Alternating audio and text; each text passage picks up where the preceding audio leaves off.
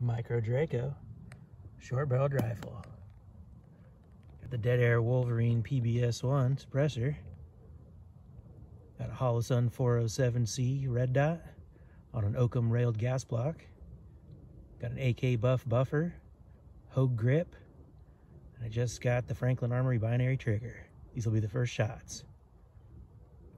I'll be shooting Brown Bear subsonics with the suppressor and Republic supersonics without because it's too much back pressure. Enjoy the video.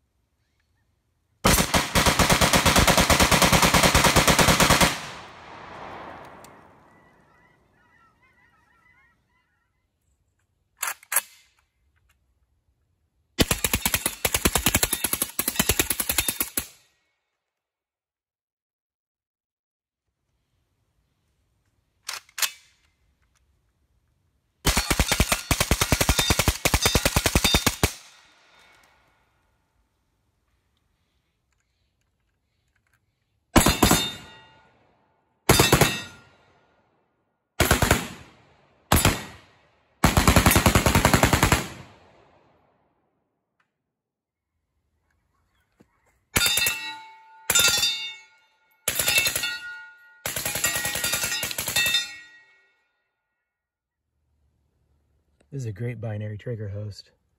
Cycled both types of ammo flawlessly. The fireball from the supers, you might try subs so you can see the target. If you enjoyed this content, make sure you're subscribed. Give me a like, comment, let me know what you thought. Thanks for watching.